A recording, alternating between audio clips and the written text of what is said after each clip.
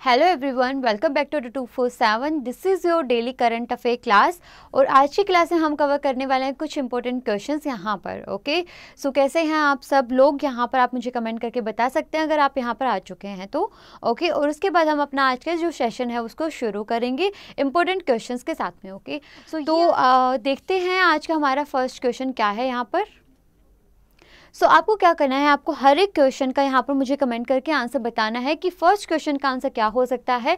उसके साथ साथ हम इन क्वेश्चन से रिलेटेड जो भी इंपॉर्टेंट इन्फॉर्मेशन होगी उसको भी यहाँ पर कवर करेंगे okay so the first question here is who launched the new postage stamp to commemorate the 75th birth anniversary of Sri Vedanta? दशिका okay so इनकी जो बर्थ एनिवर्सरी थी उसको कोमेमोरेट करने के लिए हमारा जो पोस्टल डिपार्टमेंट है उसने एक नया पोस्ट रिलीज़ किया है ठीक है? तो आपको बताना है उसको लॉन्च किसने किया था ठीक है? सो so, आपको A B C D option में से मुझे यहाँ पर कमेंट करके बताना है कि क्या यहाँ पर हमारा करेक्ट आंसर हो सकता है। आपको ये बर्थ एनिवर्सरी इनका याद रख लेना है। यहाँ पर जो हमारा करेक्ट आंसर है वो ऑप्शन नंबर सी है that is vice president of India that is M Venkaiah Naidu okay so vice president जो हमारे हैं यहाँ पर उन्होंने ये पोस्टल स्टैम्प जो है उसको रिलीज़ किया है। अब यहाँ पर आपके लिए जो इम्पोर्टेंट फैक्ट है वो है आपको जो भी यहाँ पर इंडियन पोस्ट पेमेंट बैंक से रिलेटेड जो भी आपको यहाँ पर फैक्ट्स पता है आप यहाँ पर मुझे कमेंट करके बता सकते हैं। लाइक हेडक्वार्टर कहाँ पर इसका? न्यू दिल्ली में है। Okay okay? सो so, ऐसे जो भी फैक्ट्स हैं वो आप यहाँ पर कमेंट करके बता सकते हैं। इससे रिलेटेड स्टैटिक फैक्ट्स ओके जब तक हम मूव करते हैं आज के हमारे नेक्स्ट क्वेश्चन के ऊपर।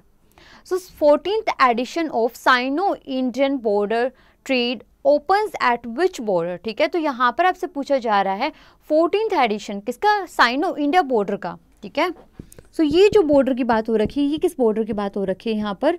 इंडिया और चाइना बॉर्डर की बात हो रखी है, ठीक है? तो ये जो है फोर्टीन एडिशन ये ट्रेड का ओपन कर दिया गया है। आपको बताना है कौन से यहाँ पर बॉर्डर की बात हो रखी है? A B C D option में से क्या यहाँ पर करेक्ट आंसर है? देखिए, यहाँ पर जो ऑप्शन में आपको ये ए बी सी करके तीन ऑप्शन प्रोवाइड किए गए हैं, ये तीनों ही क्या हैं? इंडिया और चाइना के बीच के बॉर्डर हैं। ठीक है? सो अगर आप इंडिया और चाइना के बीच में टोटल देखेंगे, कितने बॉर्डर आते हैं तो टोटल तीन बॉर्डर्स आते हैं, जिनका नाम यहाँ पर आपके सामने दिया गया है। ठीक है? तो यहाँ पर जो फोर्टीन एडिशन इस ट्रेड का शुरू हुआ है, ये कहाँ पर हुआ है? Option number A is the correct answer here that is Nathula okay वो कहाँ पर है? सिक्किम में है। ठीक है? तो नथुला बॉर्डर जो है वो आपको याद रख लेना, आपसे पूछा जा सकता है। So it is in Sikkim अब यहाँ पर आपको पता हो सिक्किम के जो चीफ मिनिस्टर हैं, वो कौन है? पवन चामलिंग है, ठीक है? पवन कुमार चामलिंग जो है वो लॉन्गेस्ट सर्विंग चीफ मिनिस्टर है हमारे इंडिपेंडेंट इंडिया के okay so let's move to the next question so so, यहाँ पर एक क्वेश्चन आपसे पूछा जा रहा है। आपको पता है साइक्लोन फानी जो है उसने हिट कर दिया है कहाँ पर? जो हमारे बे ऑफ़ बंगाल रीजन है दैट इज़ ओडिशा को हिट किया है इसने मोस्टली पार्ट में और वेस्ट बंगाल को इसने हिट किया है। यहाँ पर आपसे क्वेश्चन में पूछा जा रहा है what amount has been allocated by the government to assist states hit by the cyclone Fani ठीक है? तो जो स्टेट है हिट हुए हैं किसकी वजह से? साइक्लोन फानी की वजह से। वहाँ गवर्नमेंट उनको असिस्ट करने वाली है कितने अमाउंट से? Option number A B C D में से आपको बताना है। यहाँ पर हमारा क्या करेक्ट आंसर है? सो so, अगर आपको पता हो सबसे ज़्यादा जो हिट हुआ है वो कौन सा है? ओडिशा है। तो इसलिए सबसे ज़्यादा जो यहाँ पर अमाउंट प्रोवाइड किया जाएगा, वो ओडिशा स्टेट को ही प्रोवाइड किया जाना है। टोटल यहाँ पर अमाउंट जो प्रोवाइड किया जाएगा, वो ऑप्शन नंबर बी जो है, हमारा करेक्ट आंसर है that is one zero eight six crore ठीक है? तो आपको ऑप्शन नंबर बी जो है, यहाँ पर याद रख लेना है। अब वो स्टेट कौन कौन से हैं? टोटल यहाँ पर कितने स्टेट को प्रोवाइड किया जाना है? यहाँ पर चार स्टेट को प्रोवाइड किया जाएगा ये अमाउंट सबसे ज़्यादा जो प्रोवाइड होना है, वो किसको होगा? ओडिशा स्टेट को यहाँ पर प्रोवाइड होगा। उसके बाद वेस्ट बंगाल आ जाएगा। तमिलनाडु आएगा एंड आंध्र प्रदेश आएगा। ठीक है तो इन सारे स्टेट्स को अमाउंट प्रोवाइड किया जाएगा, जिसमें मैक्सिमम अमाउंट जो है वो उड़ीसा को प्रोवाइड किया जाएगा। ओके ये चीज़ आपको यहाँ पर याद रख लेनी थी। अब आपके लिए सर्टिफैक्ट्स आपको बताना है who is the chief minister of Odisha and who is the governor of Odisha okay so देखते हैं आज का हमारा नेक्स्ट स्लाइड क्या है। सो ये यहाँ पर आपको सामने इन्फॉर्मेशन दी गई। ओडिशा के जो चीफ मिनिस्टर हैं, वो नवीन पटनायक हैं।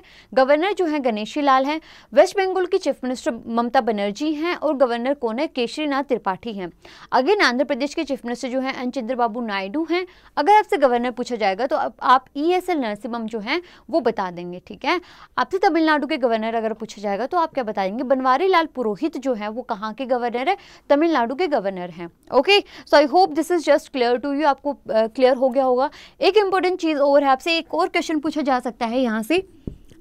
वो है हेल्पलाइन नंबर आपसे पूछा जा सकता है कि जो साइक्लोन फानी है, उसके लिए कौन सा हेल्पलाइन नंबर जो है गवर्नमेंट ने शुरू किया है तो आप बता देंगे वन नाइन थ्री एट ठीक है? So one nine three eight जो हेल्पलाइन नंबर है, वो शुरू किया गया है लोगों को हेल्प करने के लिए okay so I hope this is clear to you let's move to the next question देखिए अगर आपको यहाँ पर सारी चीज़ें समझ में आ रही हैं तो आप सेशन को यहाँ पर लाइक कर सकते हैं। Okay so this is the one question which is related to the obituary ये ओबिटोरी से रिलेटेड क्वेश्चन है। इसमें आपसे पूछा जा रहा है Peter Mayhew passes away recently he was related to which field ठीक है तो ये जो है पीटर मेहेव हैं इनकी जो है डेथ हो चुकी है। तो आपको मुझे बताना है कि कौन से फ़ील्ड से रिलेटेड हैं। देखो यहाँ पे जो कुछ मेन पर्सनैलिटीज़ होती हैं वो आपके लिए इंपॉर्टेंट होती है जो हम आपके लिए लेकर आते हैं। ठीक है सो so, ये क्वेश्चन आपके लिए इंपॉर्टेंट है और वो किससे रिलेटेड आपको ऑप्शन यहाँ पर ए बी सी और ऑप्शन में से बताना है। क्या करेक्ट आंसर हो सकता है यहाँ पर हमारा? Okay so the correct answer here is option number C that is acting ठीक है? तो वो किससे रिलेटेड है? एक्टिंग से रिलेटेड है ओके सो मूव करते हैं आज के हमारे नेक्स्ट क्वेश्चन के ऊपर। So this is the one most important question for you आज के क्लास में, ठीक है? So which day is celebrated as a world press freedom day world press freedom day जो है वो किस दिन मनाया जाता है आपको बताना है। A B C D option में से यहाँ पर हमारा क्या करेक्ट आंसर हो सकता है? ओके सो आपको बताना है, इनका क्या करेक्ट आंसर है? इस क्वेश्चन का करेक्ट आंसर आपको बताना है। अब देखिए फ़र्स्ट जो मे था, वो कैसे मनाया गया था? एज अ मे डे या फिर लेबर डे की तरह मनाया गया था। सेकेंड मे जो था, वो क्या था? टूना डे था। जो टूना क्या है? यहाँ पर एक फ़िश का नाम है। थर्ड मे जो है, वो कैसे मनाया जाता है? वर्ल्ड प्रेस फ्रीडम डे की तरह मनाया जाता है। Okay so option number three is the correct C is the correct answer here ठीक है तो आपको यहाँ पर क्या याद रख लेना था? ऑप्शन नंबर सी आपको यहाँ पर याद रख लेना था। इसका थीम भी देखते हैं नेक्स्ट स्लाइड में। ओके okay, सो so ये आपको थीम दिया गया है जो आपके लिए मोस्ट इंपॉर्टेंट है। Media for democracy journalism and elections in times of disinformation okay so ये इसका आज का थीम रहा था मीडिया फॉर डेमोक्रेसी ओके अब यहाँ पर क्या इंपॉर्टेंट है? वर्ल्ड प्रेस फ्रीडम इंडेक्स जो आया, वो आपके लिए इंपॉर्टेंट है। ठीक है तो आपको मुझे बताना है वर्ल्ड प्रेस फ्रीडम इंडेक्स जो आया, उसमें इंडिया का क्या रैंक था? टॉप किसने किया था? वर्ल्ड प्रेस फ्रीडम इंडेक्स को नॉर्वे ने टॉप किया ओके और इंडिया का क्या रैंक रहा इस बार में? वो इंडिया का जो रैंक था, वो था 140 ठीक है? तो इंडिया का वर्ल्ड प्रेस फ्रीडम इंडेक्स में कितना रैंक रहा? 140 रैंक रहा, जो आपके लिए काफ़ी इंपॉर्टेंट है यहाँ पर।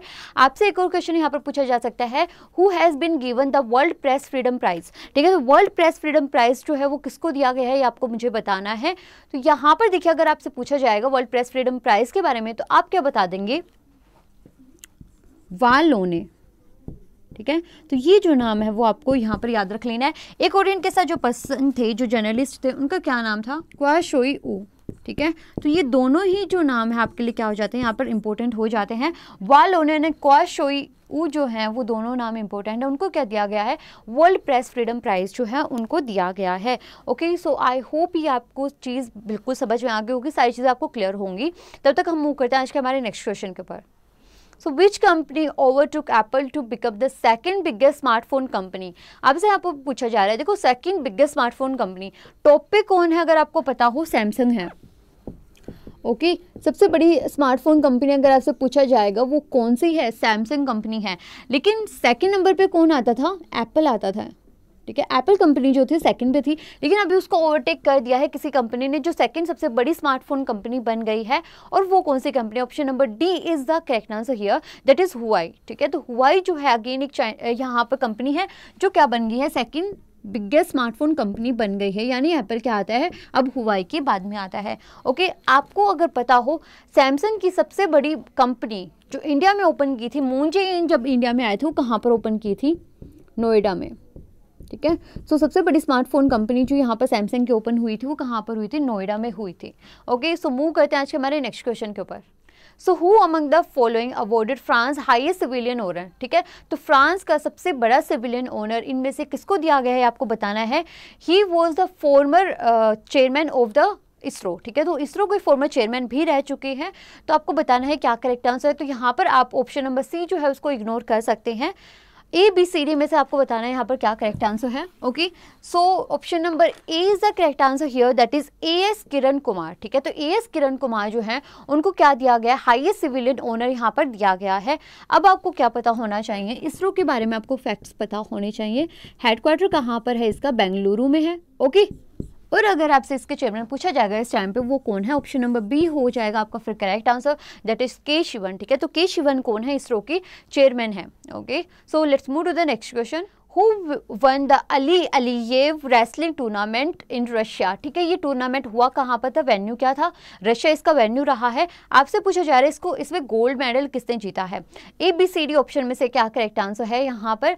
आप अगर देख रहे होंगे रेसलिंग में पीछे जो मेडल जीते जा रहे हैं, सारे ही बजरंग पूनिया जीत रहे हैं। अगेन ये वाला जो गोल्ड मेडल था, इस पूरे टूर्नामेंट को जो जीता है, वो सिक्सटी फाइव के जी अगर आपसे कैटेगरी यहाँ पर पूछा जाएगा तो आप कैटेगरी में बता देंगे सिक्सटी फाइव के जी कैटेगरी है। उसमें किसने जीता है? बजरंग पूनिया ने जीत लिया है, ये gold medal option number D is the correct answer here okay so Bajrang Punia से अगर आपको पता हो, उन्होंने अभी रिसेंटली क्या जीता था? एशियन रेसलिंग चैंपियनशिप जो थी, उसमें गोल्ड मेडल जीता था. ठीक है? तो इंडिया ने एक ही गोल्ड मेडल जीता था एशियन रेसलिंग चैंपियनशिप में, जो कहाँ पर हुई थी?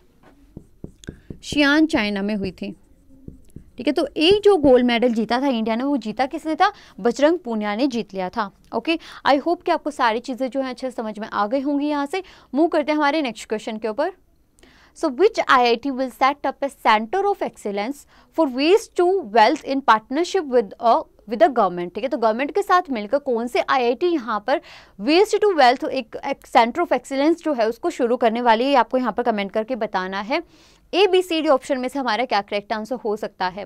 देखो वेस्ट टू वेल्थ यानी जो हमारा वेस्ट होता है उसको ढंग से तरीके ढंग के तरीके से यहाँ पर यूज़ किया जाए। ये पूरे स्कीम का एम रहा है।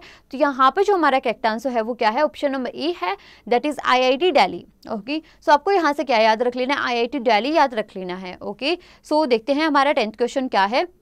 So which city will host the eighth Asian youth women handball championship so this is the one question which is related to the venue ये आपका वेन्यू से रिलेटेड क्वेश्चन है, जो आपसे आने वाले एग्जामिनेशन में पूछा जा सकता है। तो आपको बताना है इसका वेन्यू क्या रहा है? A B C D option में से क्या रहने वाला है? ओके सो यहाँ पर जो हमारा करेक्ट आंसर हो जाता है, वो है option number C that is Jaipur ठीक है? तो आपको जयपुर में याद रख लेना है विमेन हैंडबॉल चैंपियनशिप जो है, वो कहाँ पर होगी? जयपुर में हो जाएगी ओके सो आई होप आपको सारी जो चीज़ें हैं यहाँ पर समझ में आ रही होंगी। क्वेश्चन नंबर इलेवन देखते हैं हमारा क्या है। Okay so sixteenth ministerial meeting of Asia cooperation dialogue was held in which city आपको बताना है इसमें से कौन सा करेक्ट आंसर है? A B C D option में से क्या करेक्ट आंसर है यहाँ पर? Okay so sixteen ministerial meeting जो है एशिया कोऑपरेशन डायलॉग की वो कहाँ पर, किस सिटी में शुरू हुई है?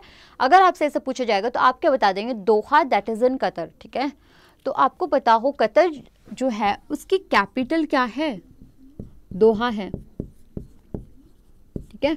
वही वेन्यू रहने वाला है इस मीटिंग का। आपसे एक और चीज़ यहाँ पर पूछी जा सकती है कि वट वॉज़ द थीम ठीक है? तो यहाँ पर अगर आपसे थीम पूछा जाएगा तो आप बता देंगे partners in progress.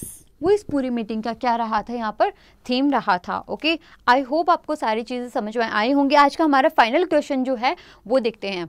So this is the one very important question which of the stock exchange has been banned by SEBI for next six months owing to colocation case ठीक है? तो एक फ्रॉड केस की वजह से सैबी जो हमारा security exchange board of India है, ठीक है, उससे किसको बैन कर दिया यहाँ पर? कौन सी एक्सचेंज कंपनी है जिसको यहाँ पर छः महीने के लिए बैन किया है? ये काफ़ी इंपॉर्टेंट क्वेश्चन है आपके लिए। और यहाँ पर जो हमारा करेक्ट आंसर है वो क्या है? नेशनल स्टॉक एक्सचेंज है ओके okay? सो यहाँ पर जो हमारा एनएससी जो है वो क्या हो जाता है? यहाँ पर हमारा करेक्ट आंसर हो जाएगा। पूरा फ्रॉड केस था जिसकी वजह से ये पूरा बैन लगा दिया गया है। अगर आपसे अबाउंट पूछा जाए कि सैबी जो है उसने कितने पैसे का बैन वो लगाया इसके ऊपर क्लेम लगाया है तो आप बता देंगे eleven hundred crore okay so पूरा जो फाइन लगाया है सैबी ने नेशनल स्टॉक एक्सचेंज के ऊपर वो कितना लगाया है? 1100 करोड़ का लगाया है। अगर आपसे नेशनल स्टॉक एक्सचेंज जो है, उसका हेडक्वार्टर पूछा जाएगा तो आप मुंबई बता देंगे। Okay okay? अगेन आपको पता हो सैबी जो है, उसका हेडक्वार्टर कहाँ पर है? मुंबई में है और सैबी के चेयरमैन कौन है? अजय त्यागी हैं। ओके सो आज की क्लास में हमने टोटल ट्वेल्व क्वेश्चन किए थे जो आपके last day that is Saturday से थे ठीक है? तो आपका आने वाले मंडे जो क्लास होगा उसमें हम सारे क्वेश्चन को कवर करेंगे जो भी संडे तक न्यूज़ आती हैं ओके आई होप कि आपको ये सारी चीज़ें समझ में आती होंगी आपको सेशन अच्छा लगता होगा। सो so, अगर आपको सेशन अच्छा लगता है तो आप सेशन को लाइक कर सकते हैं okay so thank you so much and have a good day